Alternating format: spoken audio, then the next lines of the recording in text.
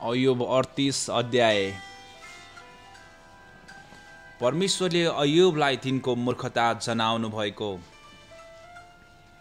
तब परमप्रभुले अयुबलाई आँधीबेरीबाट यसरी जवाब दिनुभयो। यो को हो जसले मूर्ख कुराहरू गरेर मेरो सल्लाहलाई धमिल्याउन खोज्छ? तेरो कम्बर कसेर मर्द चाहिँ खडा हो। म तँलाई सवाल गर्छु र तैँले मलाई जवाब दे। पृथ्वी पृथ्वीको जग मैले बसाल्दा त कहाँ थिइस्? तैँले बुझ्छस् भने मलाई बता। त्यसको नाम कसले ठहरायो? तैँले जा। तैँले त जान्नुपर्ने। कसले त्यसको नापको डोरी टाँगे टाँग्यौ? त्यसलाई थाम्ने खम्बाहरू कहाँ अड्याइएका छन्? त्यसको जगको ढुङ्गा कसले बसाल्यो?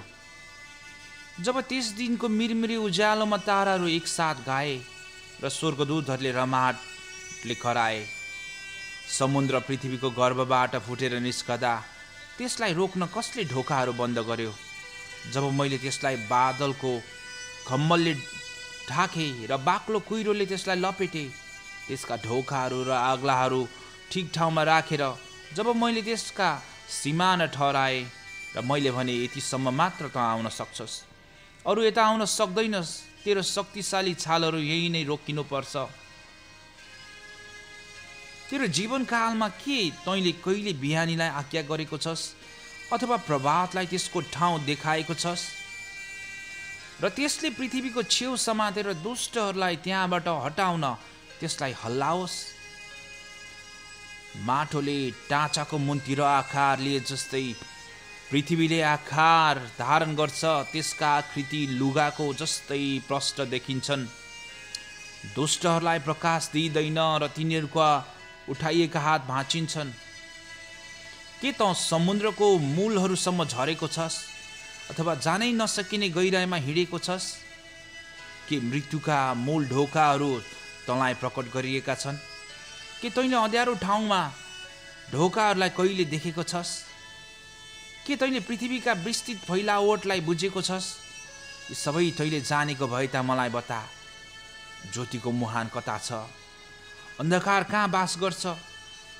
के तैँले तिनीहरू हरेकलाई तिनीहरूका ठहराएका सिमानामा लैजान सक्छस्? र तिनीहरूको घर जाने बाटो तँलाई थाहा छ? निसन्देह तैँले यो कुरा सबै कुरा जान्दछस् होला किनकि त जन्मिँदा जन्मिसकेको थिइस्। त कति धेरै वर्ष बाँची सकिस्? के त हिउँको भण्डारमा पुगेको छस्? अथवा असिना थुपारेको स्थान तैँले देखेका छस्? जो मैले विपत्तिको दिन युद्ध र लडाइँको घडीको निम्ति जोगाएर राखेको छु। कुन बाटोहरूदेखि बिजुली यताउता फैलिन्छ? अथवा पूर्वीय बतास पृथ्वीमा चारैतिर उडाइन्छ? महावृष्टिको लागि कसले नहर खनेको छ? तुफानको निम्ति बाटो कसले तयार गरेको छ? निर्जन ठाउँमा उजाड स्थानलाई भिजाउनको निम्ति उजाड र रुखो जमिनहरूलाई हरियो भरियो बनाउनलाई र सुक्खा जमिनमा घाँसहरू उमार्नलाई कसले बाटो तयार गर्यो? के वृष्टिको कुनै बुवा छ? शीतको थुपालाई जन्माउने बुवा को हो? कसको गर्वले हिउँलाई जन्मायो? आकाशबाट झर्ने तुसारोको आमा चाहिँ को हो? कहिले पानी ढुङ्गा जस्तै कडा बन्द बन्दछ कहिले गहिरो महासागरको सतह जम्छ? के त किरकिटी ताराहरूलाई बाँध्न सक्छस्?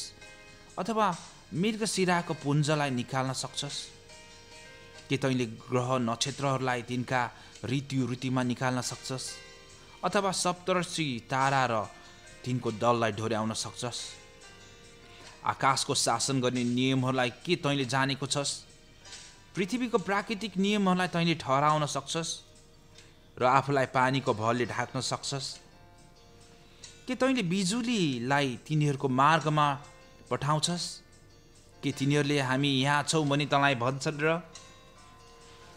कसले हृदयलाई बुद्धि दियो अथवा मनलाई समझदारी दियो?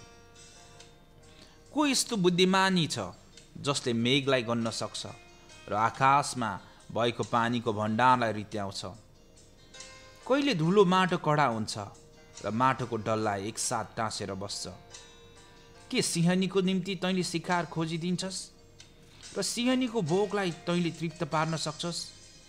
जब तिनीहरूले आफ्नो ओढारमा ढुकिबस्छन् अथवा आफू लुकेको ठाउँमा पर्खिरहेका हुन्छन् काका बचेराहरूले खानेकुराको अभावमा परमेश्वरको पुकारा गर्दा कसले खागलाई त्यसको हार झुटाइदिन्छ?